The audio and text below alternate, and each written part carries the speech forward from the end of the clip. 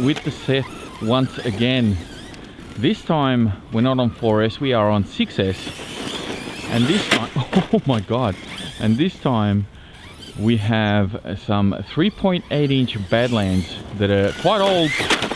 Oh, what caused it to do that? That was weird. All right, that was very weird. I don't know what to make of that one.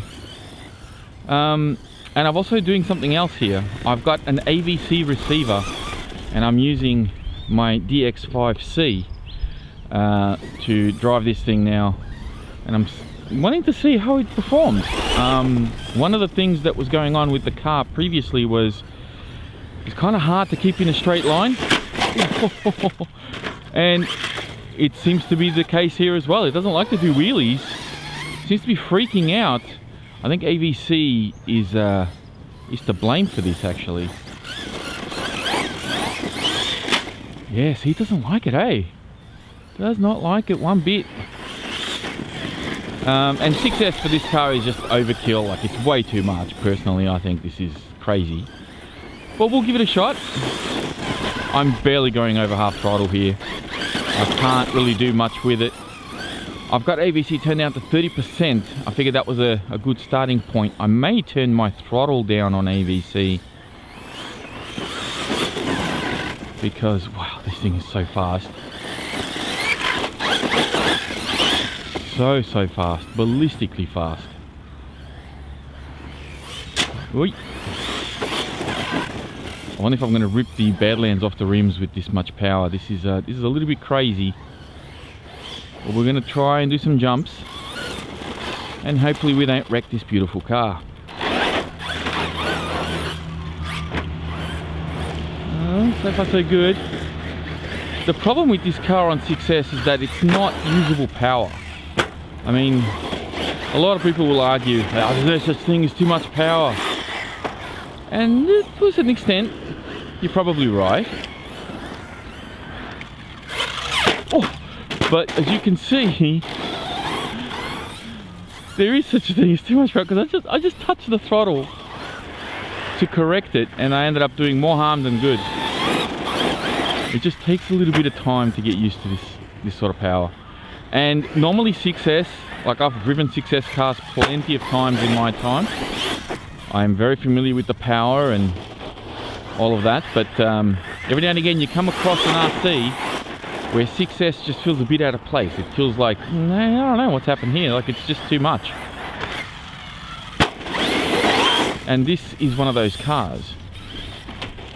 It just feels like it's a bit overdone.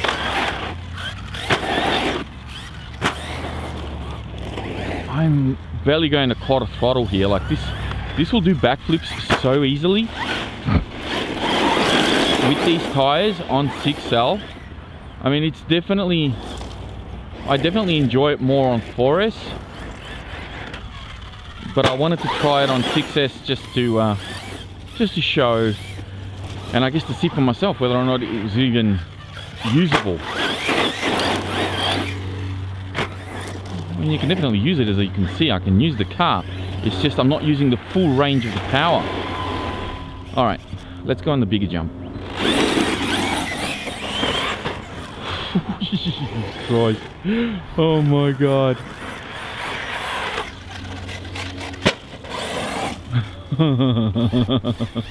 it's actually, okay, at this time I have to say I'm a little bit, a little bit terrified of what could potentially happen.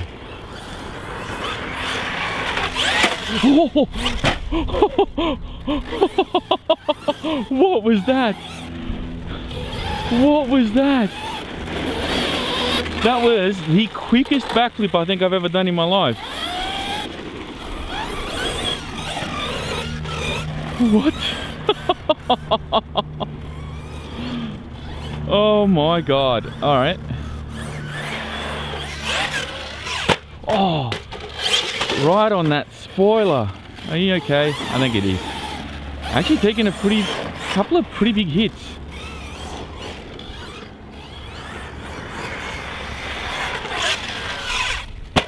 All right, control that one.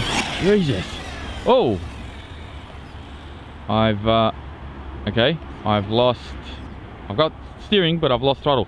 It's not a flat battery. I know that for a fact because the battery is fully charged. Let's go and investigate. Maybe something's overheating. Uh, I still don't have throttle. So I am interested to see what is going on all right back in a sec. Okay so ESC is actually quite warm. Uh, unfortunately I don't have my temp gun with me. The motor is way too hot to touch like way way way too hot to touch. Um, and the ESC is definitely hot. This is a thermal shutdown is what this is. Uh, pretty straightforward. So even with the stock gearing obviously running the bigger the bigger tires and trying to run this thing off-road on 6S it's just not uh, really usable power. Uh, I'm going to try this again. I'll bring the car back here another time when I have a 4S battery fully charged that I can fit in here. And uh, we'll, we'll, go again on 4S uh, here at Altona. But for now I'm going to leave this one here. And uh, yeah I'll catch you on the next one. Thanks for watching and uh, speak to you soon. Bye